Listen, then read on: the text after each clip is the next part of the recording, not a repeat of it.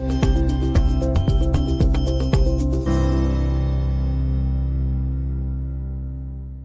mi kao gradsko veće redovno usvojamo izveštaje o realizaciji budžeta i šestomesečni i devetomesečni. Ovo je već na neki način zastareo, šestomesečni, ali pošto je bila letnja pauza, odbornici ga tek sad razmatraju.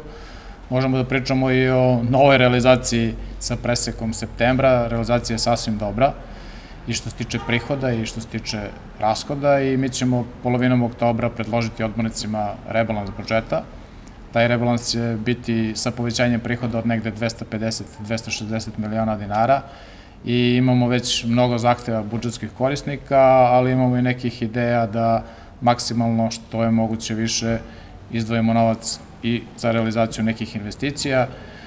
Planirano je da otvoreni plivački kompleks isplatimo u celosti sledeće godine, a pokušat ćemo da ja već kroz ovaj rebalans odvojimo što je moguće više sredstava i da sada isplatimo negde 60-70 miliona dinara više nego što smo planirali za ovu godinu, tako da oslobodimo sredstva za budžet za 2023. godinu.